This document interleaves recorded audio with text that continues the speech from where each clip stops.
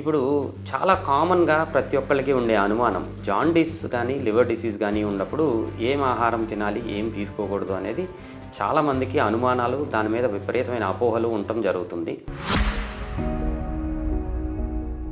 Hi viewers నేను మీ doctor Somashekara Rao gastroenterologist and hepatologist Apollo hospitals.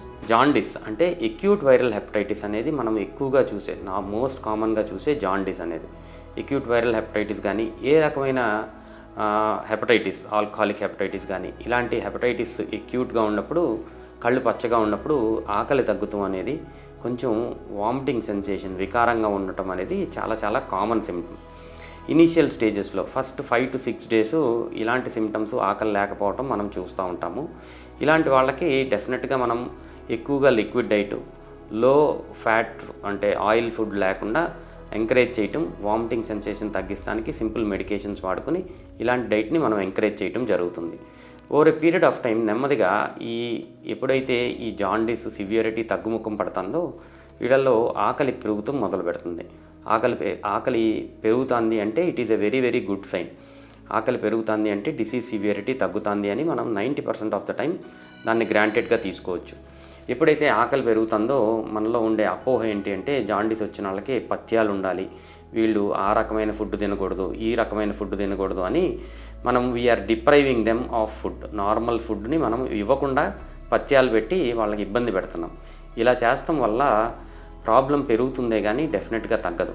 ఒక్కసారి ఆకలి పెరుగుతూ మొదలుపెట్టిన తర్వాత నెమ్మది నెమ్మదిగా over period of time vomiting sensation తగ్గిపోయి ఆకలి పెరుగుతుందంటే నెమ్మదిగా ఈ డైట్ మనం ఏదైతే ఇనీషియల్ స్టేజెస్లో ఇచ్చామో దాన్ని నెమ్మది నెమ్మదిగా ఇంప్రూవ్ చేసి ఇనీషియల్గా డబుల్ సాఫ్ట్ డైట్ బాగా మెత్తగా ఉండే ఆహారము అన్ని రకాల పండ్లు కాయగూరలు పెట్టి ఇనీషియల్గా డైట్ స్టార్ట్ చేయొచ్చు. Over a period of time ఒక పదిహేను నుంచి ఇరవై రోజుల తర్వాత మైల్డ్గా జాండీస్ ఉండగానే వీళ్ళకి ఆకలి వేస్తుంది అంటే వీళ్ళు నెమ్మదిగా ప్రోటీన్ ఫుడ్ కూడా తీసుకోవటం స్టార్ట్ చేయొచ్చు. For example egg white. ఇలాంటిది డెఫినెట్గా ఒక ఫిఫ్టీన్ ట్వంటీ డేస్ అయిన తర్వాత ఎక్యూట్ జాండీస్ ఏ కారణం చేత వచ్చినా కానీ వీళ్ళకి డైట్ స్టార్ట్ చేయటం జరుగుతుంది స్టార్ట్ చేయాలి వీళ్ళకి ఇనీషియల్ స్టేజెస్లో కొన్ని రోజులు లివర్ ఫంక్షనాలిటీ కొంచెం తక్కువ ఉండటం వల్ల బాడీలో ప్రోటీన్ సింథసైజింగ్ కెపాసిటీ తగ్గుతుంది. ఇలాంటి వాళ్ళల్లో మనం ప్రోటీన్ని ఎక్స్టర్నల్గా సప్లిమెంట్ చేస్తే డెఫినెట్గా వీళ్ళకి తొందరగా రికవరీ అయ్యే అవకాశం చాలా ఎక్కువగా ఉంటుంది. మరీ ముఖ్యంగా మనం alcohol liver disease alcoholic hepatitis patients గురించి మాట్లాడుకున్నప్పుడు వీళ్ళలో ఎక్కువ శాతం మందికి గుడ్ న్యూట్రిషనల్ డైట్ అనగా ప్రోటీన్ రిచ్ ఫుడ్ కనుక మనం సప్లిమెంట్ చేస్తే లివర్ రికవరీకి ఇది తోడ్పడుతుంది తొందరగా లివర్ రికవర్ అయ్యే అవకాశం ఉంటుంది. సో అపోహలన్నీ మానేసి జాండీస్ ఉన్న వాళ్ళల్లో ఈ ఫుడ్ ఇవ్వకూడదు ఆ ఫుడ్ ఇవ్వకూడదు అనేది complete wrong.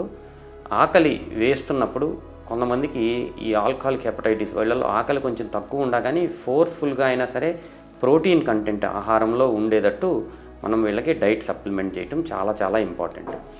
Chronic liver disease కానీ లివర్ సిరోసిస్ కానీ ఉన్న వాళ్ళలో ఎవరిలో అయినా సరే డిఫరెంట్ డైట్ ఉంటుంది. ముఖ్యంగా వీళ్ళల్లో మనం చూడాల్సింది సాల్ట్. సాల్ట్ అనేది ఉప్పు బాగా రెస్ట్రిక్షన్ చేసి four to six grams per day salt మాత్రమే ఉండాలి వీళ్ళల్లో. వీళ్ళల్లో సాల్ట్ ఎక్కువైన కొద్దీ కాళ్ళల్లో వాపు వచ్చే అవకాశం ఉంటుంది. సో అందుకని సాల్ట్ రెస్ట్రిక్షన్ చాలా చాలా ఇంపార్టెంట్.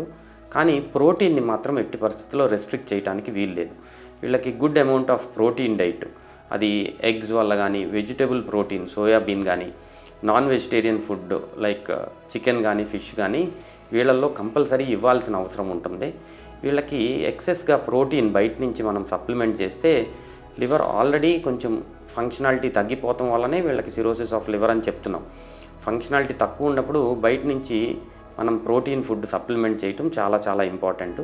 సాల్ట్ ఒకటి మాత్రం రెస్ట్రిక్ట్ చేసుకుని డైట్ నార్మల్గా with protein good amount of protein liver disease ఉన్న వాళ్ళకి chronic liver disease or cirrhosis ఉన్న వాళ్ళకి ఇవ్వాల్సిన అవసరం ఉంటుంది. ఎక్కువ రోజులు వీళ్ళల్లో మజిల్ మజిల్లో నుంచి ప్రోటీన్ తగ్గిపోయి మజిల్ మాస్ తగ్గిపోవటం మనం చూస్తూ ఉంటాం. వీళ్ళకి ఎక్కువగా ప్రోటీన్ కంటెంట్ ఇవ్వటం వల్ల ఆ మజిల్ మాస్ని ప్రిజర్వ్ చేసుకుంటా ఈ లివర్ ఫంక్షనాలిటీని ఎక్కువ రోజులు వితౌట్ ట్రాన్స్ప్లాంటేషన్ మెయింటైన్ చేసే అవకాశం ఉంటుంది. So diet plays very important role. ఈ ఆహారం అనేది ఆహారంలో మనం ఇచ్చే ప్రోటీన్ అనేది ఈ chronic liver disease or cirrhosis of liver ఉన్న వాళ్ళల్లో చాలా ఇంపార్టెంట్ రోల్ ప్లే చేస్తుంది. అది చాలా ఇంపార్టెంట్ ఇంకొక అనుమానం ఏంటి అంటే ఉప్పు తినకూడదు అనగానే డిఫరెంట్ డిఫరెంట్ టైప్స్ ఆఫ్ ఉప్పుల గురించి మాట్లాడి రాక్ సాల్ట్ కానీ లేకపోతే రకరకాల మౌంటైన్ సాల్ట్ అని డిఫరెంట్ టైప్స్ ఆఫ్ సాల్ట్స్ వాడచ్చా అని డౌట్స్ ఉంటాయి. ఏ రకమైన ఉప్పు అయినా సరే ఫోర్ టు సిక్స్ గ్రామ్స్ కన్నా ఎక్కువ లివర్ డిసీజ్ ఉన్న వాళ్ళు తీసుకోకుండా ఉండటం మంచిది. తీసుకున్న తర్వాత వీళ్ళకి రకరకాల ప్రాబ్లమ్స్ పెరిగే అవకాశం ఉంటుంది. సో ఫోర్ టు సిక్స్ గ్రామ్స్కి పర్ డే సాల్ట్ని రెస్ట్రిక్ట్ చేసి good amount of protein diet వీళ్ళల్లో కంపల్సరీ ఇవ్వాల్సిన అవసరం ఉంటుంది. అలా వీళ్ళల్లో కూడా మళ్ళీ fresh fruits and vegetables compulsory తీసుకోవాల్సిన అవసరం ఉంటుంది. సో మలబద్ధకం ఎక్కువగా ఉండే అవకాశం ఈ chronic liver disease cirrhosis of liver ఉండే వాళ్ళల్లో ఉంటుంది. సో ఆ మలబద్ధకం రాకుండా పండ్లు కాయగూరలు ఫ్రెష్ ఫ్రూట్స్ అండ్ వెజిటబుల్స్ కూడా చాలా చాలా ఇంపార్టెంట్ పార్ట్ ప్లే చేస్తుంది. Thank you.